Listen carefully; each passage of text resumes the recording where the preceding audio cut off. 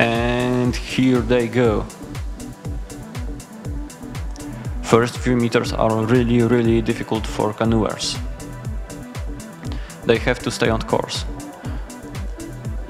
This time I don't think there were any issues at all.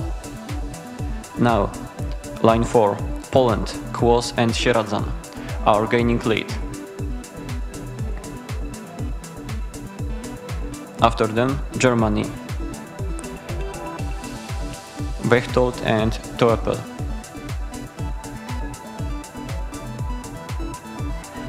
It is quite uncertain if they are going to keep that advantage. Last one seems to be crew from Korea.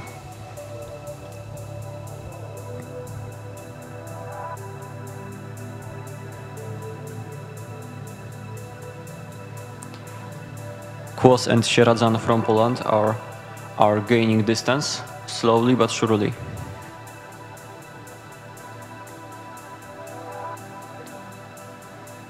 They are uh, for more than half a boat in front of the Germans.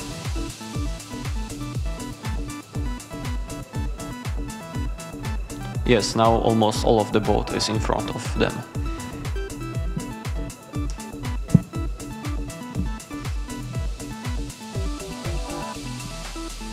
Just remember this final is no semi-final is no different than uh, any other we had today.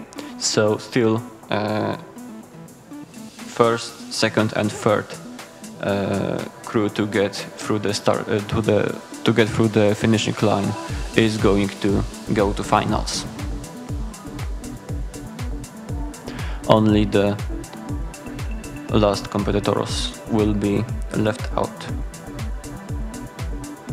But here Poland in the comfortable lead.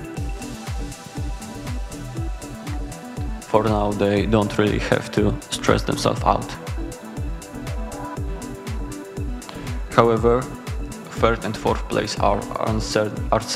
mm, I'm sorry, uncertain.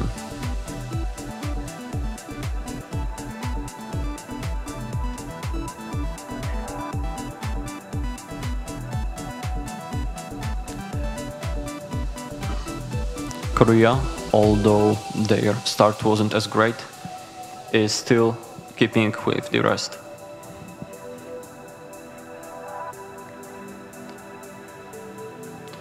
Even maybe taking over Slovakia in a few meters. Last 200 meters for Poles and for the rest of them as well.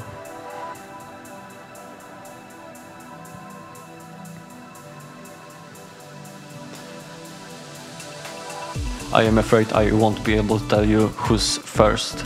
Well, who's first I will be able to tell you, but I won't be able to tell you who's second and third. This is such a close race. Although, as I said that, Koreans seemed to lost some of the steam.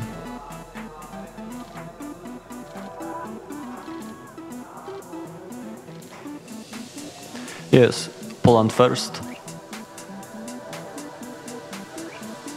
then I believe Germany, and then Slovakia.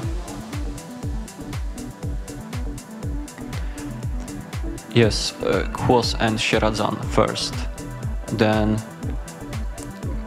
Bechtold and Toepel, and then Strycek and Kizak.